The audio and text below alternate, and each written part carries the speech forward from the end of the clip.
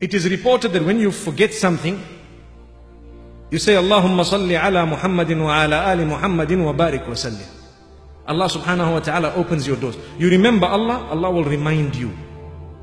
So when we forget something, it is from shaitan. وَمَا أَنسَانِيهُ إِلَّا الشَّيْطَانِ When you forget something good, it's from shaitan. So this is why we should constantly try and remember that which is good. How to increase your memory. Cut out everything unnecessary from your life.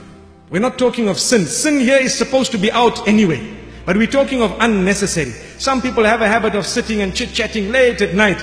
Following morning they can't remember how many raka'at in Fajr. But there's only two.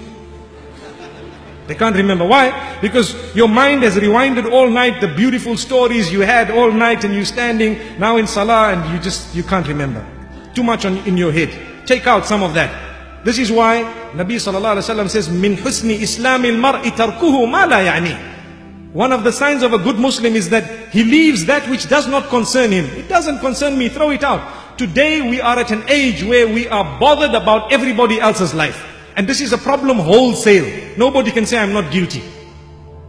When we hear a juicy rumor, mashallah, it's like we squeezing the lemon. Allahu Akbar. May Allah subhanahu wa ta'ala grant us goodness. Really, we need to be bothered about our own lives. Cut out unnecessary riffraff and see how your memory improves. May Allah open our doors. قد كفاني علم ربي من سؤالي واختياري فدعائي